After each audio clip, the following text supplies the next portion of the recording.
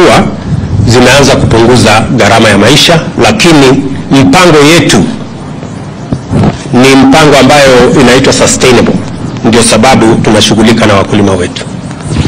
My name is Chumutai Goin from Citizen TV, and um, in paving way to this bipartisan process um, that will initiate in Parliament, if it doesn't bear any fruit, and the positions that have been taken by yourself, your deputy, and several other leaders in government regarding um, a handshake or a working relationship, do we then foresee this possibly leading to that um, if it is for nation and for self?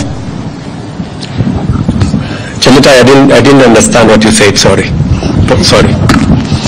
Yeah, Somebody was talking to me here, so, pole. Yeah, that's a former colleague.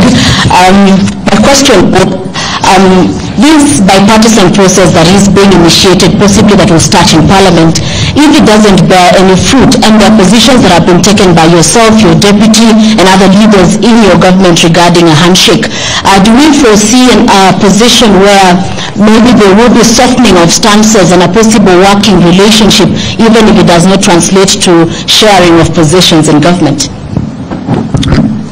you know, as a believer in the rule of law, and as a believer in running an accountable government, our position is that we should never be in the position that this country was put by the handshake, where there is no distinction between government and the opposition.